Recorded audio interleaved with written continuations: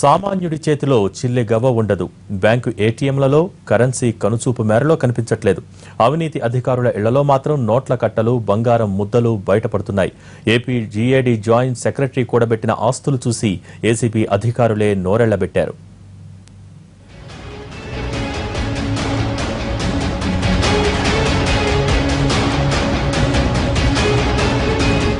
రెండు వేల రూపాయల నోట్ల కట్టలు ఐదు వందల నోట్ల కట్టలు బంగారు ఆభరణాలైతే లెక్కేలేదు వడ్డాణాలు నెక్లెస్లు గాజులు దిద్దులు ఒకట రెండ జ్యువెలరీ షాపుల్లో ఉన్న మోడల్స్ను తలపించాయి. ఇక వెండి వస్తువులు కిలోల కొద్దీ దొరికాయి. ఖరీదైన వాచీలు అన్ని వేలు లక్షల రూపాయలు ఖరీదు చేసేవే. పాపులర్ బ్రాండ్లు ఇంపోర్టెడ్ బ్రాండ్లకు చెందిన ఆ వాచీలను చూస్తే మైండ్ బ్లాంక్ అవుతుంది. ఇక స్థలాలు భవంతులు పొలాలకు సంబంధించిన డాక్యుమెంట్లు అనేకం కనిపించాయి.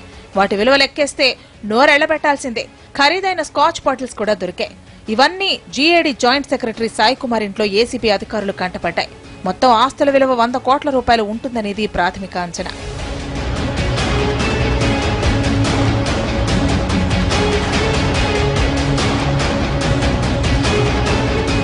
హైదరాబాద్ బంజారాహిల్స్లోని రోడ్ నంబర్ వన్లో ఉన్న సాయి కుమార్ ఇంటికి ఉదయాన్నే ఏసీపీ అధికారులు వచ్చారు.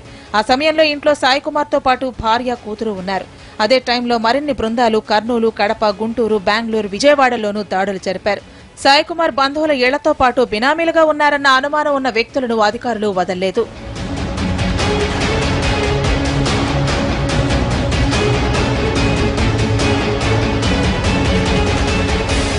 హైదరాబాద్లోని సాయి కుమార్ నివాసంలో ఇరవై లక్షల నగదు చిట్ ఫండ్ కంపెనీలకు చెల్లించిన ఇరవై లక్షల రసీదులు పదిహేను లక్షల ఫిక్స్డ్ డిపాజిట్ బాండ్లు కిలో బంగారం పది కిలోల వెండిని స్వాధీనం చేసుకున్నారు ఏసీపీ అధికారులు. సైనిక్పురిలోని ఓ బ్యాంక్ లాకర్లో బంగారంతో పాటు డైమండ్ ఆభరణాలు ఉన్నట్లు గుర్తించిన అధికారులు ఆ లాకర్ను ఓపెన్ చేస్తే మరింత బంగారం బయటపడే అవకాశాలున్నాయని భావిస్తున్నారు. హైదరాబాద్ కడప బెంగళూరులో ఏడు ఇండ్ల స్థలాలకు సంబంధించిన డాక్యుమెంట్లతో పాటు బెంగళూరులో సాయికుమార్ భార్య పేరుపై ఉన్న రెండు ఫ్లాట్స్ను గుర్తించారు అధికారులు.